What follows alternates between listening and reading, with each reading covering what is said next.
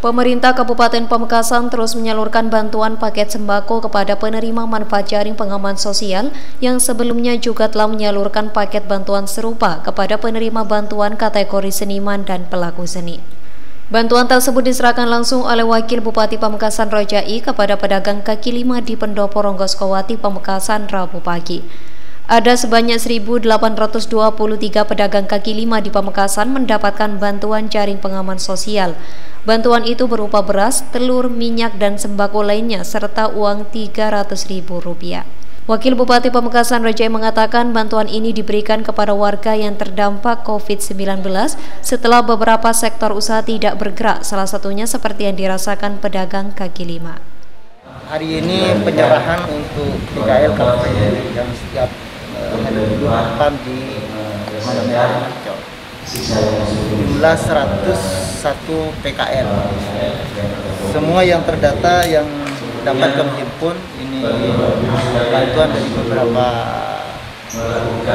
stakeholder terutama penguyupan PKL Kabupaten Makassar yang disampaikan ke kami dan termasuk yang ada di data di Dinas Koperasi dan Umkm Kabupaten Makassar 1823 uh, 23 PKL di Kabupaten Makassar. Kalau sebagian ada yang tidak tercover ini hanya uh, human error saja. Tetapi yang terdata di sini alhamdulillah sudah tercover semua dan akan kita berikan bantuan berupa uang 300.000 dan uh, sejumlah uh, kebutuhan pokok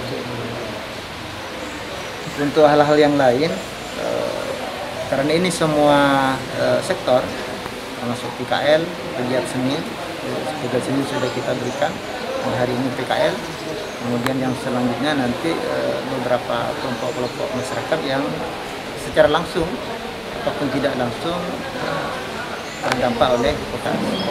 Karena dampak COVID-19 ini membuat beberapa sektor usaha kan tidak bergerak seperti biasa tentunya pendapatan semakin menurun kemudian ini harus kita jawab dengan beberapa langkah taktis oleh pemerintah beberapa di dalamnya ini memberikan bantuan untuk sementara masih terkait COVID-19 hanya satu kali ini atau ada akan gelombang berikutnya Pak untuk mereka?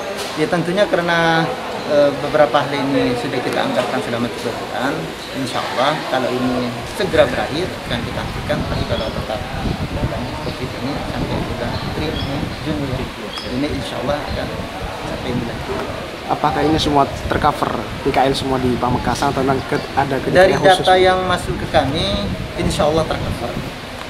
Jika masih ada sebagian yang belum tercover, tentunya ini kan eh, hanya beberapa yang tercecer lah, yang tidak sempat eh, barangkali ketua peguyupan ataupun dinas terkait di koperasi eh, mendatai. Wabu Projai juga menyampaikan bantuan ini merupakan bentuk kepedulian pemerintah Pamekasan kepada seluruh pedagang kaki lima di tengah pandemi corona. Selain itu, pihaknya juga berharap kepada yang lain juga ikut andil atau peduli bagi dermawan yang mampu untuk saling membantu warga yang terdampak virus corona.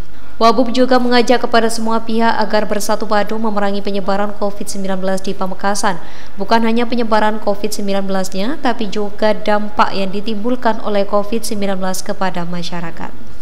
Muhammad Hasan, CTV.